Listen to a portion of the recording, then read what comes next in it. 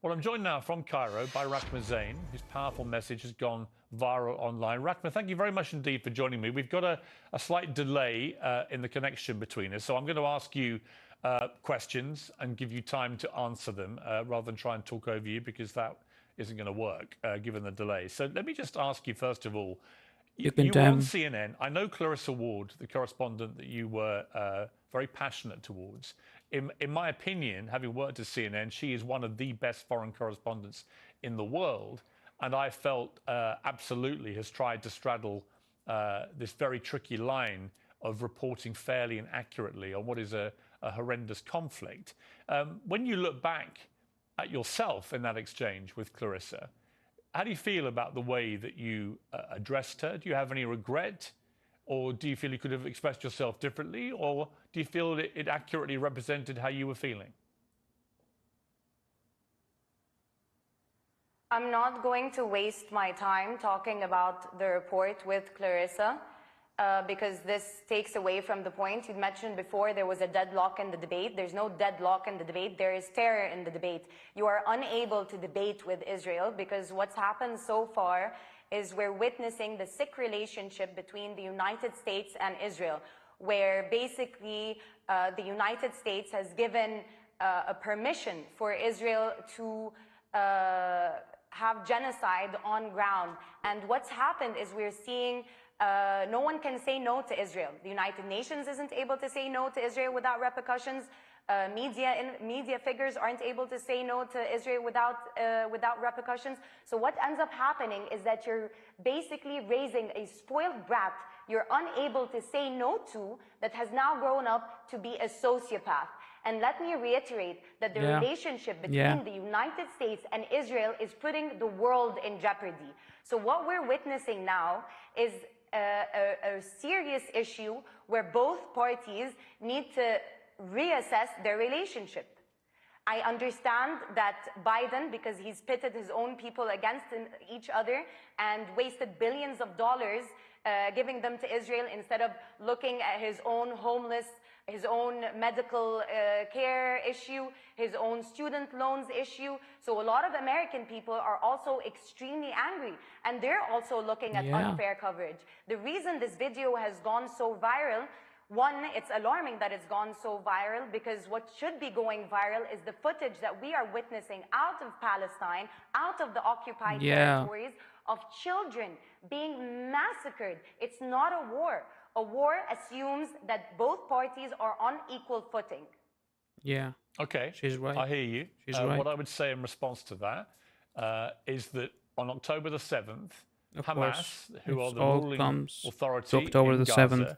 Committed an act of such heinous terrorism, killing 1,500 people, including 260 people at a Okay, music in festival. 1948, No, let me finish, Rahma. Let me finish. What happened Let me just then? ask. Uh, let what me just about say, the militia? Rahma, j- let me, No, let me no, just I- ask you the I- question. I'm, I'm really, I'm, I'm No, no, you have to let me ask a question. I, I've been very polite to you and respectful. Ask. I've let you have your say. I'm going to say something now to you, and you can respond. Bear That's in mind there's a delay, so this isn't exactly the easiest debate to have. Well, that's why I said at the start, why don't we let me ask questions, you answer them, and that's the way this can proceed in a respectful manner. I would simply say to you Ask. that I've had a number of pro Palestinian voices on this program in the last two weeks, um, and a number of uh, pro Israel voices.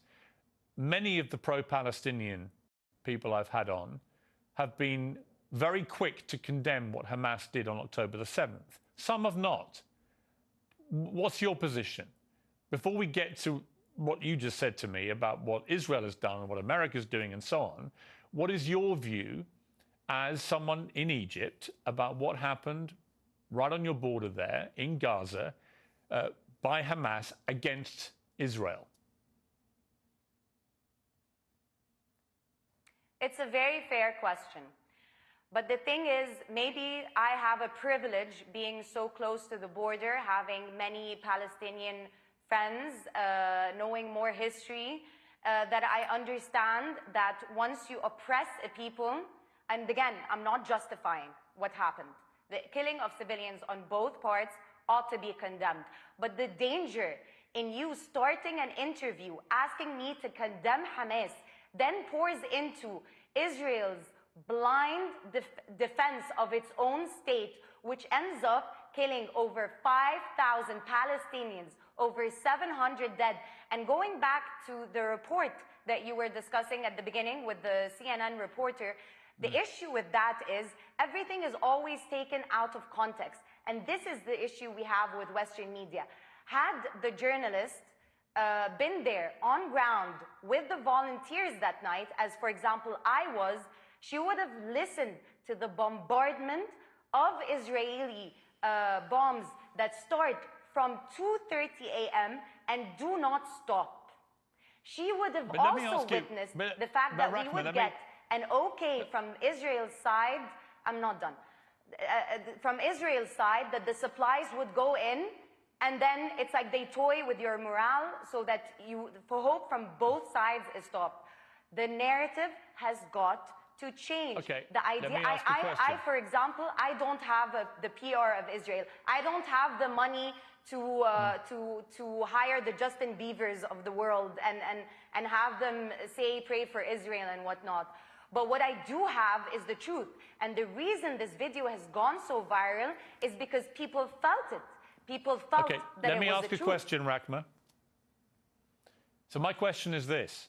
When Hamas did what they did on October the 7th, they will have known, absolutely known, that Israel's response would have been this. And it would have involved yeah. the deaths of many thousands of innocent people in Gaza as a consequence of going after Hamas. It's it's the same. It's you cannot say just say that because uh, Israel's gonna kill people like like it's gonna kill smaller portion amount over like 20 days 30 days two months five months yeah and still get this number or somebody will do something and it will get the world attention and israel of course is gonna kill a large amount of people in just one day. So the same, the, the two options are the same. And uh, yeah, but at least there's one, with one option, I think that's what they were, that's what they were going for. Like the people to know what's happening, you know? I think that. I don't know. They will have known that. So my question for you, again, a difficult question. I appreciate this, given that you're right there in the middle of all this. But the difficult question is, how do regular Palestinian people feel that their ruling authority commit an act of terror so heinous and they must have known how Israel would respond and they must have known that many thousands of innocent Palestinians would die as a consequence of that terror attack. How do they feel about that? Are they comfortable with Hamas continuing to be the ruling authority in Gaza? Or is it actually an act of such appalling atrocity well, that Hamas should no longer be there. And if, if the answer is the Palestinian people don't want them to be there anymore, then how do you get rid of them? Unfortunately, the Palestinian people don't have the luxury of the time to think of Hamas. The, the, the voice notes we're receiving from our Palestinians, Palestinian brothers and sisters from under the rubble from uh, mothers who've lost their children, from home families that have been eradicated. The, the sentiment we're getting from the Palestinian people is, do they see us? If the United Nations, that's whole premise was to avoid this kind of genocide, was created to avoid this kind of humanitarian crisis, cannot stand up to one spoiled brat of a fascist organization, then where are we in this world? And what's sad is that it's a top-down movement. You have the United Nations unable to speak to Israel. You also have the, the, the people at work who cannot hold the Palestinian flag, who get fired on the spot. I've had people who work in New York text me and tell me that they've been fired okay, on the spot. Right, you question. know what else I've had that I unfortunately I cannot show? Screenshots, I'm last thing, screenshots of emails from from prominent news channels where anchors, where um, younger people are, are emailing producers begging, are emailing one another begging, why aren't we showing the other side? Why aren't you showing the other side?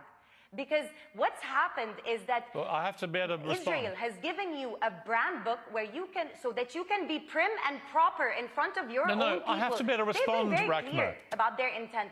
They've been very clear since the Haganah. You have to let me respond now. Okay? I'm listening to you respectfully. I am not the media.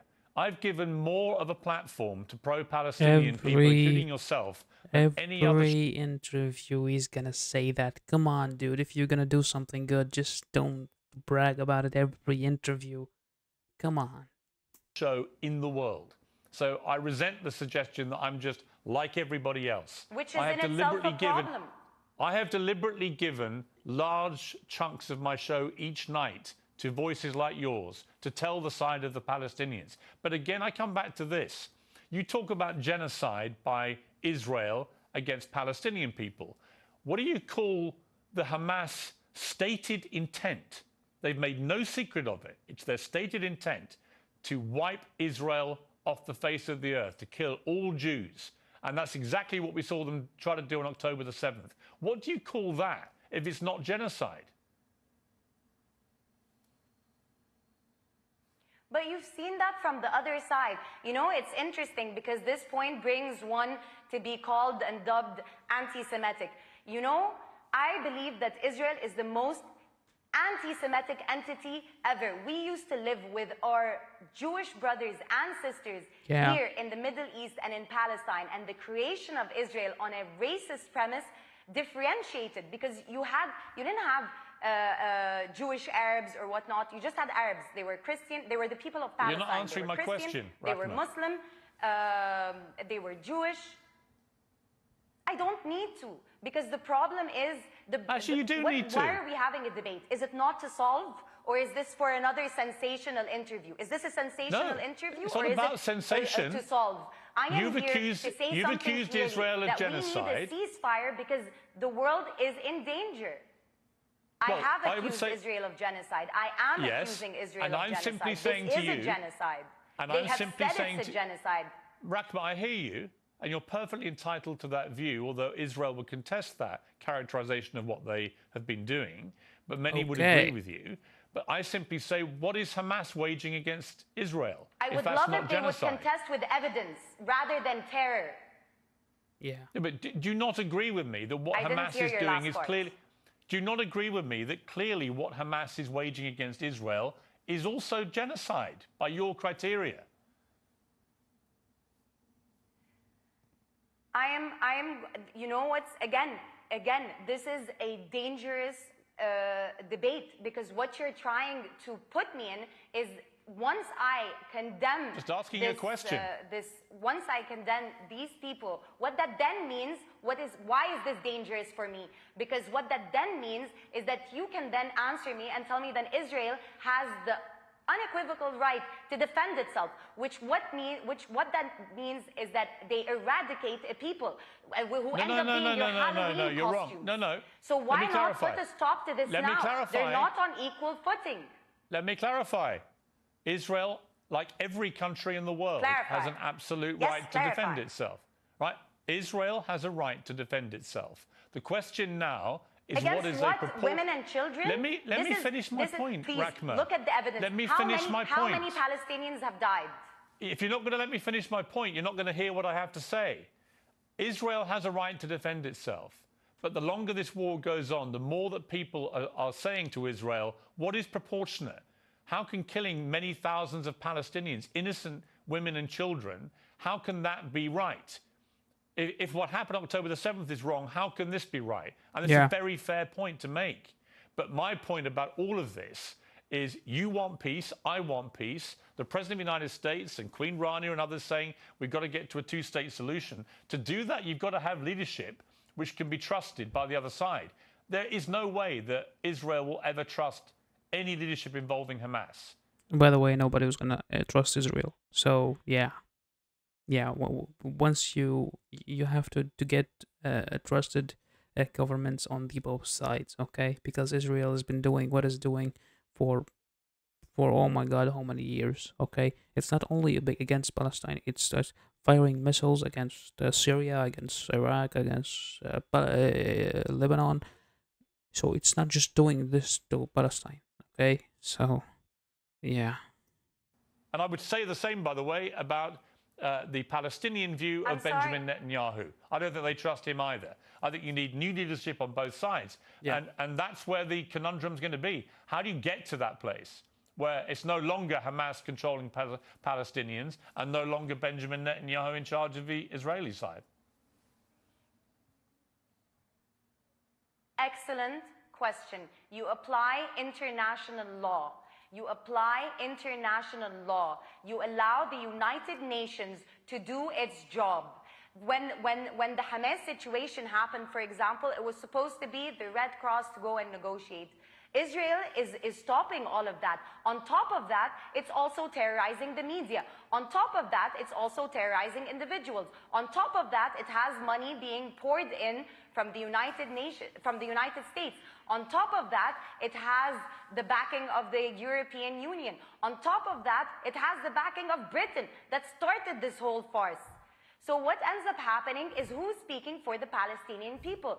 So for a solution to happen, you need to empower the United Nations so that Israel is not making a mockery of the United Nations. How am Okay. I needing to reiterate this more and more? I am giving you a solution.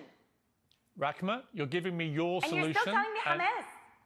Rahma, you've There just will always be Hamas if you occupy a people. Let me just finish this point. Let me just finish this point. If you occupy a people, Mm-hmm. if you occupy a people, if uh, women in labor are having to give birth at checkpoints, if you're having uh, people imprisoned, if you're having this merciless bombardment of Palestinians, you are going to breed Hamas. It starts Yeah. with the stronger party. Yeah, she's right. Rahma, I've given you uh, a long amount of time. And this is today. I why hope- the, the jargon is dangerous. Okay, I hear you.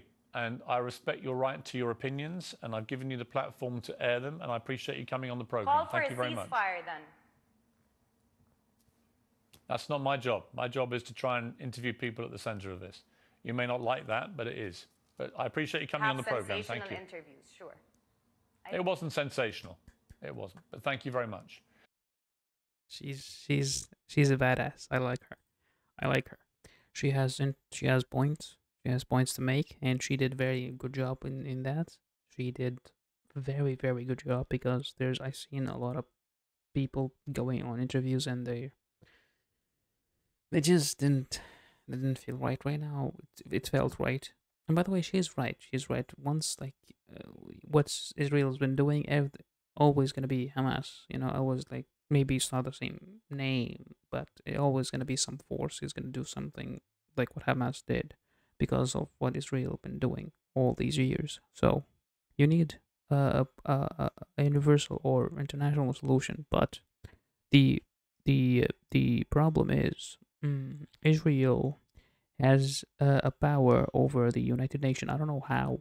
I don't know how. I think, I think everybody everybody thinks like, oh well, America is the strongest country in the world, or Russia, or China, or something.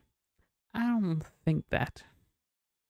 I think Israel, yeah, because I don't know how, but it got all these people under their like palm of the hand, like just like like, America gonna do whatever it takes just to just to make Israel safe and uh, Britain and all these countries gonna yeah it is very bad and uh, yeah it's not gonna be fair to get the United Nation because it's it's gonna be for Israel you know?